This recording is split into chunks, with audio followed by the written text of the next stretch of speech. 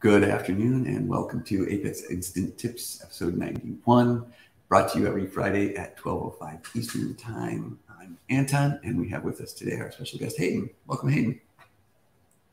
Uh, great to be here, Anton, and uh, excited about today's episode. Um, uh, last week, we covered something that um, only pertains to a subset of Apex developers, but today I, I think it's a pretty general tip that I think will have value for everybody. Oh, great. Um, well, I know we've talked a little bit about this tip. It is something that um, we both uh, we, we both run back around to these sort of quality and, and software quality issues, and this is, is definitely one of those. Um, what do you have for us? Uh, yeah, why don't we go ahead and share my screen? So today's tip is not about PL SQL warnings or PL scope. However, it, it implicates both of them, and maybe we'll cover those separately or refer them to um, FOIA tips or something like that. But uh, I am a big fan of PL SQL warnings and PL Scope. Um, in my database. Yeah, and we've, we've covered both of those. We've covered both of those in the past about turn on PL SQL warnings so you get them and, and that kind of thing. Oh, right. And in, in SQL Developer, when I compile a package, I get this feedback here. Um, that is a, a, it's a little small. It essentially points out that this um, uh, this function doesn't return a value uh, in the exceptions clause. Um, so it, it's a warning that is a valid criticism of my code that it, that I wouldn't get if I didn't have my PL SQL warnings enabled. It would be it would compile, but it wouldn't warn you. Oh, interesting. Okay. Precisely. In SQL Developer, I'm able to automatically apply that session value of enabling um, PL SQL warnings through the use of um, a startup script. So the path is you go to preferences, you look up database, and here there's a, you can link to a file that is your startup script. And my startup script looks like this. So I'm setting uh, PL warnings to enable all. I'm setting my PL scope settings to uh, compile. Again, we're not going to discuss what these things are. And then I'm also setting my date format. Yeah, I have almost the same so, thing. But now we get to the problem that needs to be solved. Uh, many developers don't have a startup script and don't uh, have the benefit of this kind of feedback. And many developers, in fact, choose to code in the browser.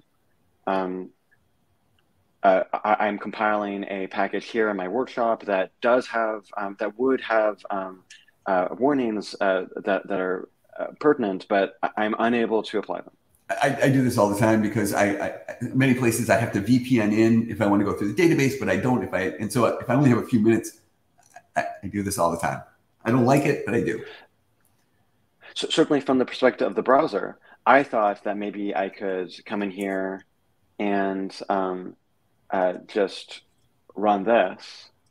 Sorry, just run this, mm-hmm. um, and it, it, it's. Uh, well, you have to do one at a time. That's the issue. Just do right. right yeah, yeah. I'll just run this. I thought that doing this would would, would do the trick of um, of enabling uh, PL SQL warnings, but it doesn't seem to work. Right, and that's because the way Apex works, it's it's stateless. You don't get the same database session every time. So you're uh, altering a database session when you do this, and when you so you alter this database session, and but then I, when I navigate to the object, the browser, browser you, you could be getting a different, different session. And and I think I think Apex actually and ORDS actually reset all those things between every page view. So it's not happening. So with, with two minutes on the clock, what's the solution? Ah, well, I, I know you I, know the answer. What what do we have? I'm going to propose a, um, a logon trigger, and we're going to link to this just in the notes.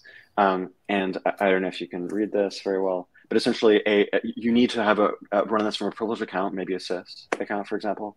Um, and essentially means that every time you authenticate yourself to the database, uh, you can have this these values automatically applied. And so now I have run this from my admin account in my autonomous database. And now when I save and compile here, I get the feedback that is so valuable. So uh, sidebar, um, developers will have to get used to the fact that it looks like I haven't compiled. It actually has compiled because these are warnings, not errors. Yeah, the PLW. So essentially, you have to train yourself. If, if it says PLW, it has compiled. It's just not happy about it. Right, and, and I got to say, I kind of like that because it, it, it sticks out, right? Like, hey, you should fix these, and it, it I strive to have no warnings in my code. I'm not saying I always get there, but I strive to have no warnings. And any guess what my favorite yeah. warning is? Uh, is it um, uh, so? Uh, circle warnings will warn you if you have um, uh, when others than null as an exception. That's a, that is my favorite one. Um, so Hayden, yeah. I'm going to do it really quick. We've got 27 seconds left. Why didn't you just alter system and set this at the system level? It's a good idea, and I haven't tested that to, to be clear. Um, I would worry about my inability to exclude certain schemas. So I don't think we want um, everything in Sys or Apex for that matter compiled into PL scope.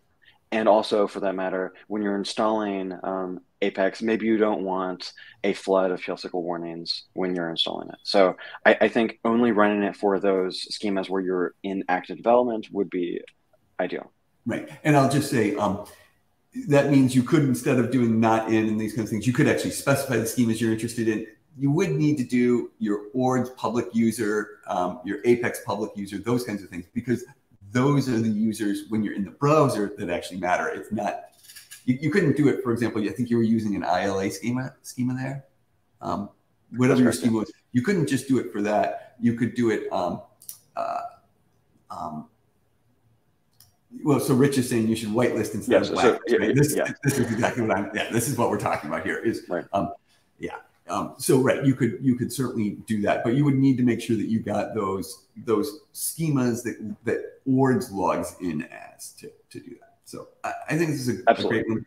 Um, I think I think I'm going to actually start doing it in the environments that I'm working in because a I want I want the feedback myself. And B, I want the people I'm working with to get the feedback, even if they don't set it up themselves. Um, so, oh, great! I'm glad we got a, a, we got a taker on it. That's that's always a good a good sign. Um, so, uh, yeah, and, and uh, uh, because it's a tip that requires a privileged account, it, it's not something that is so easily applied, you do need to coordinate with your DBA, and you're you are going to impact every user in your database. So it's um, it's perhaps the a small challenge to get this implemented, but I I think it's a good idea. Yeah, or as Rich said, you can you can whitelist it and, and only do it for for the the browser based ones and and the schemas that you're actually developing in, right? Um, yeah. Uh, and the, the gist has the two specific grants that you need. So it doesn't have to be a super privileged account. It just needs grant I think create trigger and manage administer database trigger. I think are the two, but it's in the gist, so we'll get that in there. Yeah. Um, I mean, I think we did this tip in five minutes, and then I kept rambling. Um, I, yeah, I think we got it in. Uh, I'm proud of us. Yeah, yeah. Um, uh, um, yeah, you can create your own logon trigger. Yeah, but it, that doesn't really do that doesn't really do it for you because you well, I suppose you could do a logon trigger just for the ORDS public user account and so forth. Yeah, that's good. Yeah, Rich, you've got a good point. You could do instead of the database logon trigger, um, but I don't I don't even know if you can do your own logon trigger. Um, I, I don't know the answer to that, but if you could, you would need to make sure you did it for the ORDS public user. Um, so, uh, yeah, yeah. I, Rich, it's a homework assignment for Rich. Come back and tell us if uh, if that's possible. I'm not I'm not familiar with how to how to make that happen. Um, but if there is a way, um, Rich can Rich can come on Rich can come on the show and and tell us uh, his his improved method. Uh, so yeah, as far as I'm concerned, uh, it works for me. Yeah, uh, but um, if it is possible, I, am eager to hear it because that that would simplify some things, perhaps. All right. Well, I don't have anything else um, noteworthy or interesting for today's episode. Do you? No, I think we should give people back their Fridays. All right, all right. It's beautiful afternoon here. Hope it is wherever you are. Like, subscribe, give your mom a call.